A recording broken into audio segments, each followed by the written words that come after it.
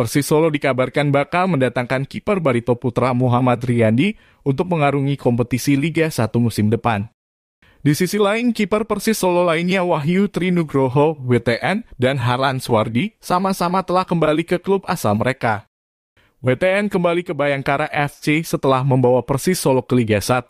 Sedangkan Harlan Suwardi yang membela Persis Solo sejak babak 8 besar hingga babak final Liga 2 telah habis masa pinjamannya pada 6 Februari 2022 lalu. Harlan pun kembali ke Persija Jepara sebagai klubnya setelah membela Persis Solo sejak 6 Desember 2021. Hingga saat ini belum ada kepastian dari manajemen Persis Solo untuk meminang dua pemain itu ke Liga 1. Meskipun publik banyak yang menginginkan Harlan Suwardi. Hengkangnya dua kiper Persis Solo itu diiringi bergabungnya rumor pemain Barito Putra M. Riyandi.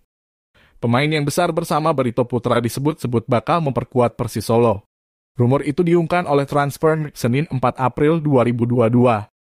Riyandi diprediksi 40% segera ke Persis Solo. Di sisi lain, Riyandi bermain sebanyak 15 kali di Liga 1 musim lalu. Tercatat dia kebobolan 17 gol dan sukses dibobol 4 laga. Pemain berusia 22 tahun itu juga sukses 67% menggagalkan penalti lawan. Dia juga merupakan pemain langganan Sintayong membela timnas Indonesia hingga saat ini kiper Persis Solo baru Pancar Nur yang mulai berlatih.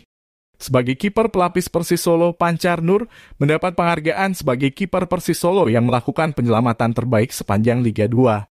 Meskipun baru tampil sekali sepanjang perjalanan Persis Solo, Pancar Nur sukses memukau pendukung Persis Solo saat melawan PSCS Cilacap di laga akhir babak penyisihan Liga 2 musim lalu.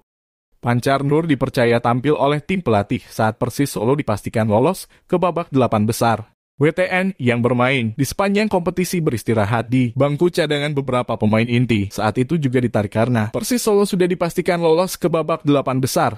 Persis Solo saat itu kalah satu hingga dua dari PSCS Cilacap.